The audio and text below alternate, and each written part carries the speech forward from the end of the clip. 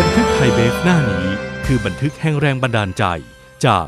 กิจกรรมพลังน้ำใจไทย Power of Thai กับการฟื้นฟูโรงเรียนสามัคคีวิทยา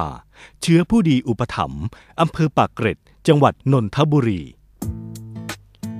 เมื่อวันที่ 25 กุมภาพันธ์ที่ผ่านมา บริษัทไทยเบเวอเรจจำกัดมหาชน พร้อมพันธมิตรจิตอาสา ได้ลงพื้นที่เข้าฟื้นฟูโรงเรียนสามัคคีวิทยา เชื้อผู้ดีอุปถัมภ์อำเภอปากเกร็ดจังหวัดนนทบุรี ซึ่งเป็นโรงเรียนสุดท้ายตามภารกิจของโครงการในครั้งนี้ โดยการลงพื้นที่ในครั้งนี้ บริษัทไทยเบเวอเรจจำกัดมหาชน พร้อมเหล่าพันธมิตรจิตอาสา ได้เข้าฟื้นฟูซ่อมแซมอาคารเรียนที่ได้รับความเสียหายจากเหตุอุทกภัยที่ผ่านมา พร้อมมอบอุปกรณ์การเรียนการสอนให้แก่นักเรียน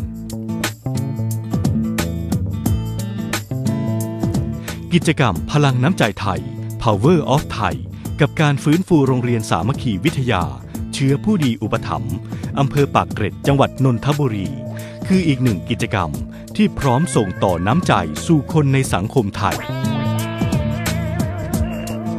ไทยเบฟขอบันทึก กิจกรรม พลังน้ำใจไทย Power of Thai กับการฟื้นฟูโรงเรียนสามัคคีวิทยา